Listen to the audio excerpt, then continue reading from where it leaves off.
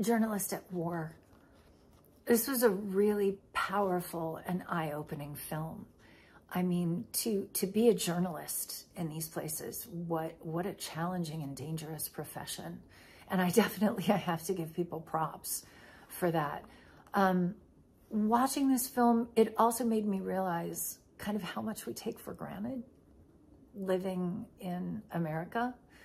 Um, it was just mind boggling for me listening to some of the people ask what Norway was.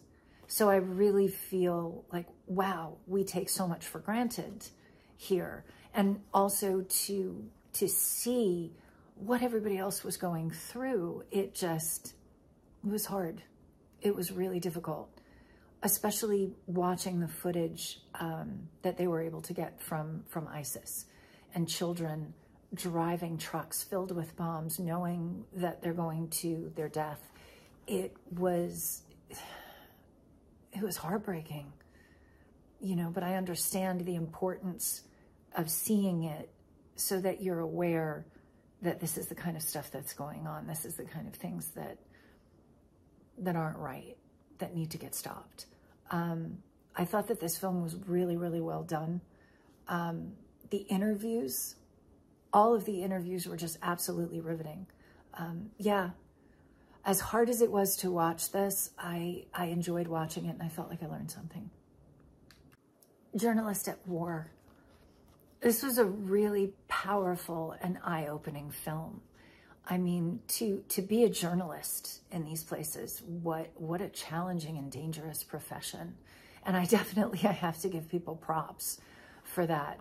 Um, watching this film, it also made me realize kind of how much we take for granted living in America. Um, it was just mind boggling for me listening to some of the people ask what Norway was.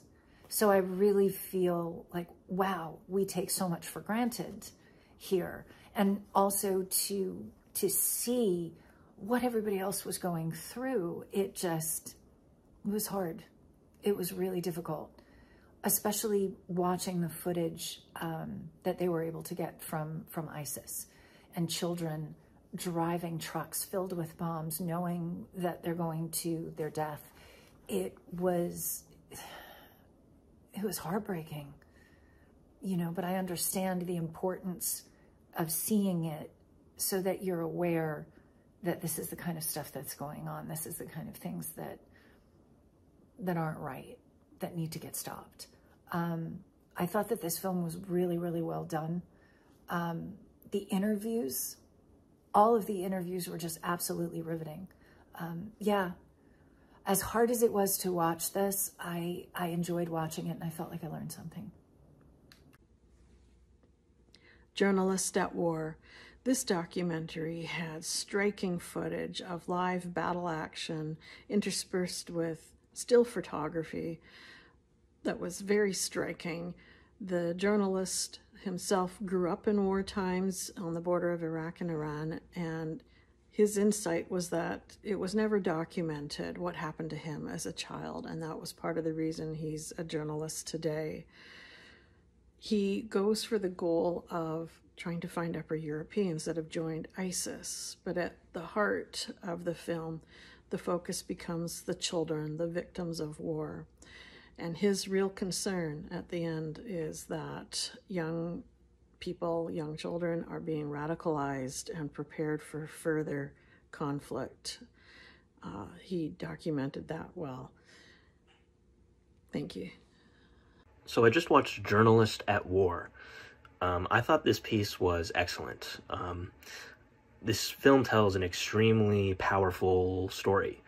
Um, I just thought this was a very, very well put together film. Um, it makes some incredible use of archival and verite and documentary footage. Um, and the imagery in this film is extremely striking and at times unforgettable. Uh, it's brutal, and violent and tragic. Um, and I really appreciated how this film highlights the tragedy um, that is involved in these kinds of conflicts. Um, I just thought this was great material to shed light on and, and spread the word on. And um, to that end, I thought the film was very illuminating and informative. Um, overall, this film just tells an incredibly powerful story. Uh, it feels very raw. Um, I think the filmmakers did a great job with this piece. Journalist at War. Fascinating look to journalism on the ground, trying to understand people much like himself and see what they're going through. Just incredibly nuanced view, something that you wouldn't get access to in mainstream media where they want a clean, clear narrative. This showed the the devastating images of destruction, the murder, um, the violence on the streets, and the struggle, um, and the stark difference between non-war zones and a war zone. Uh, I just think when I I personally delve into ideas about war, I have a very vague concept. To so to see these images and be confronted by them, um, and the brutality, made me stop thinking of it as a concept and see the people that are deeply affected by it. Um, and it really is about the other humans and their lives that are being destroyed by by this violence. Um, I thought it was really well laid out, well edited and compiled, um, with a nice through line and flow to the piece as well. Hey, I'm commenting on the documentary Journalist at War.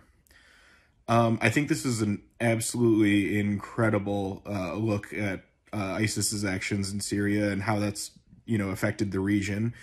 Um, this is such a unique perspective, and I feel like this footage is the sort of thing that you know it's it's one thing to read about uh, conflicts like this, but it's a totally different thing to see how it plays out, sort of in the context of people's everyday lives. You know, just going through neighborhoods that are just war torn and um, I think it's really, really valuable and really important.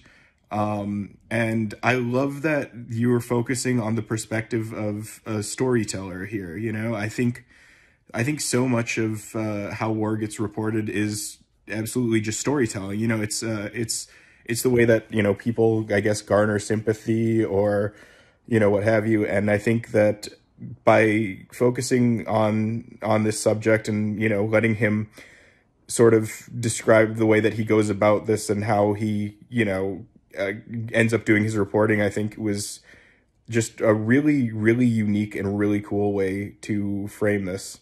Um, really, really fantastic work on this. Um, if there's one thing I would say, maybe you could work on a little bit of the sound design. I noticed it getting a little bit sparse during some of the interviews.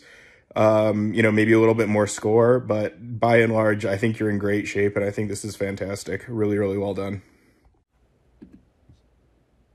I started my career in journalism, and one of the first things that they teach you is uh, freedom of press. Uh, in a way, they try to make you feel that this is sort of a safe space to tell the truth. And as I've gotten older, I've realized none of us are safe. You read about journalists who get murdered in other countries. In America, they lose an eye. Uh, in this case, we see a journalist at war. We follow this Norwegian journalist uh, who gets attached on the concept when he finds members of his country, his community, uh, have left to join the terrorist group ISIS. Uh, diving further into the conflicts of the happenings in the Middle East, specifically in Iran, Iraq, and Syria, to name a few, uh, we see these two gentlemen go on a journey to seek out members and ask them what drove them uh, to leave their home to fight in this inhumane uh, movement. We see who this destruction has affected. We watch the propaganda being provided to these individuals. Uh, this shines a light on child soldiers, a group of them in imprisonment uh, for the heinous crimes that they've committed. Uh, some who have yet to even uh, begin to t- acknowledge, uh, you know, the damage that's been done here. Uh, I think we need to showcase uh, violence uh, involving children and film and uh, TV more and more as it's become such a forefront of an issue. Uh, we get to see this connection uh, between mother and son in this documentary.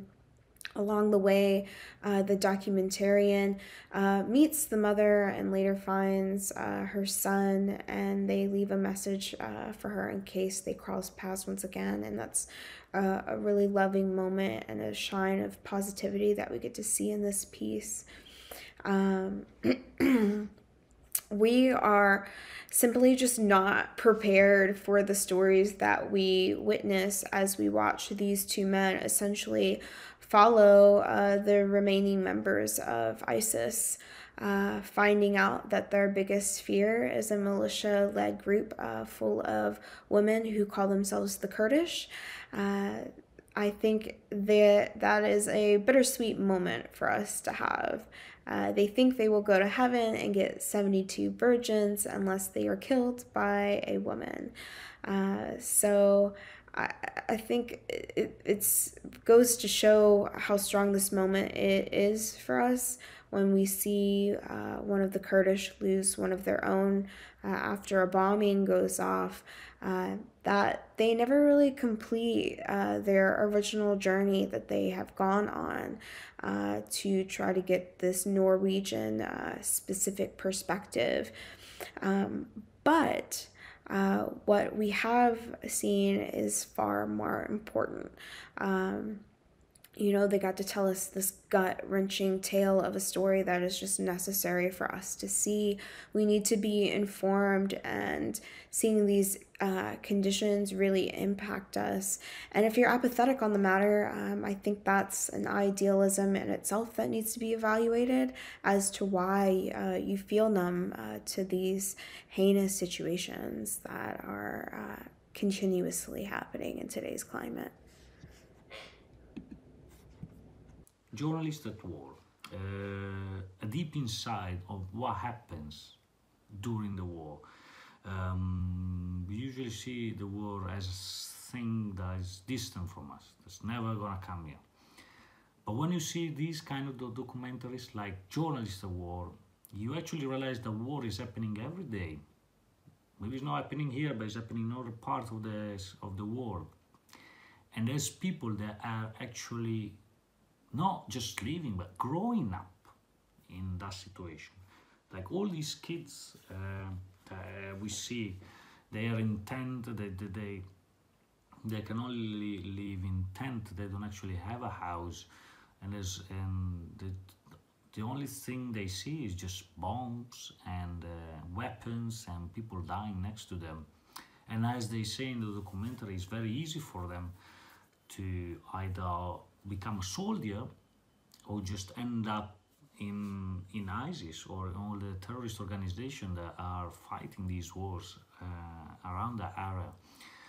Uh, I like the, the main character as well, then how he explains the difference between being there and then suddenly being at home in Norway, where basically nothing happens every day and everyone are uh, enjoying their life, relaxed, and see these these two different wars, you know, his life with the family in Norway and then boom, his life in Syria or when he was younger, when he grew up in Iran and, and at the border with Iran and Iraq. And it was very uh, intense. You can see the difference. It just takes a four hours, five hours flight to, to completely change your life, you know upside down. And uh, I think it was a very powerful um, powerful documentary well shot with an excellent cinematography and an excellent direction. Um, really enjoyed it. Congratulations.